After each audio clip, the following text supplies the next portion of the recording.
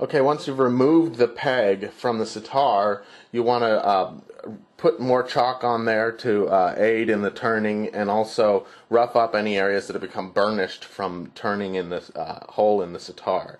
The sitar peg uh, makes contact with the sitar just at about um, oh, little less than three quarters of an inch on the peg head side and the slide a bit on the tip side, which is just a guide hole. You don't want it to really grip in that part of the hole. So once you have the peg out, the idea is to check it out and make sure that there's no shiny spots. If there's shiny spots, you want to use a file. This is a little, um, just a wood file, and lightly rough up anywhere that's been burnished by turning in the holes of the sitar.